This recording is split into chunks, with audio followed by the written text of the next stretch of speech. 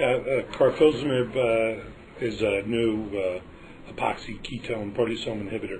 It's uh, been through a series of clinical trials, perhaps the most important of which is the uh, 003A1 trial, which is the quote-unquote unmet need trial.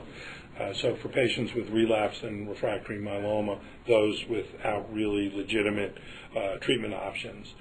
So uh, the, this uh, trial looked at single-agent carfilzomib in two dose schedules. Uh, the 003, the original trial, was at 20 milligrams. The the A1 trial was at 20 milligrams, escalating to 27 milligrams per meter squared.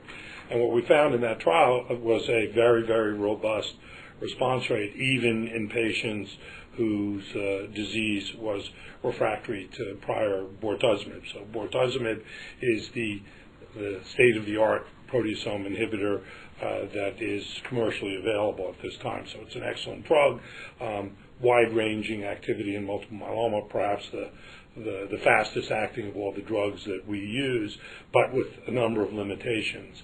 Uh, so we found that uh, that carfilzomib was was active in that uh, patient population, even in those patients who had failed uh, previous bortezomib use.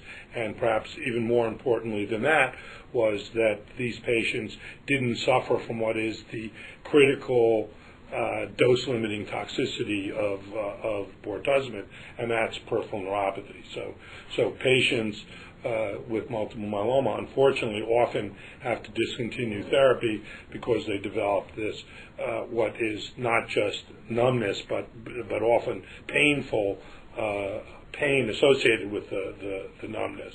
And carfilzomib virtually had no uh, high-grade peripheral neuropathy.